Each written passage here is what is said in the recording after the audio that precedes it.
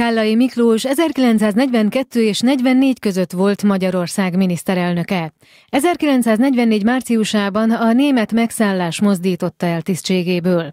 Tiszteletére vasárnap rendhagyó tárlatot mutattak be az érdeklődőknek. Kállai Miklós tekintetében ebben az évben nagyon sok évfordulót élünk meg.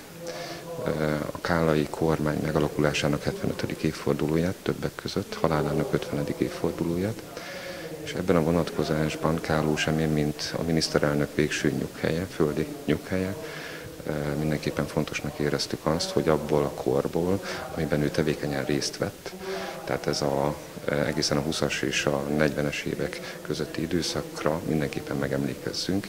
E tekintetben köszönöm szépen a Jós András Múzeumnak a közbenjárását is, akik segítették ennek a kiállításnak a létrehozását. A tárlaton előadásokat is tartottak, az érdeklődők megtudhatták egyebek mellett azt is, milyen szerepük volt a szabolcsi honvédeknek a második világháborúban. Kiemelkedő fontosságú szerepet játszottak, sajnos, hiszen a háború kitörésétől kezdve mindig volt olyan Szabolcsi alakulat, aki a harctéren teljesített szolgálatot, hiszen 1941. júniusában a háború kitörése után már annyira egy házi huszárezredet vitték ki Ukrajnába, akik 41 nyarán őszén harcoltak kint, egész a Nyeperig jutottak el, onnan kerültek haza 1941 őszén, és amikor a hazaértek már megszálló feladattal ment ki a 12. gyalogezred, a Nyíregyházan állomású 12. gyalogezrednek egy zászlója, majd 1942 végén a tragikus sorsú másik magyar hadsereg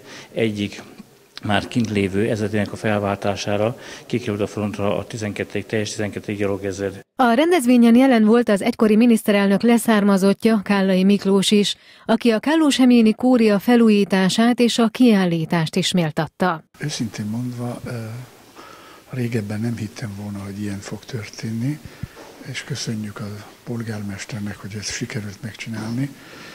Édesapám szegény 11 éve meghalt, de nagyon örült volna, azt hiszem, egy ilyen boldogság nála az csoda lett volna, és örülök neki, hogy ezt meg tudták szervezni, és ezzel előre vinni az időbe a, ezt a hagyományt. Az előadásokkal kiegészített rendhagyó történelmi tárlatot csak egyszer láthatták az érdeklődők, de a Kállai Kúria állandó kiállítása, amely a család életét mutatja be, hétfő és kedd kivételével minden nap látogatható.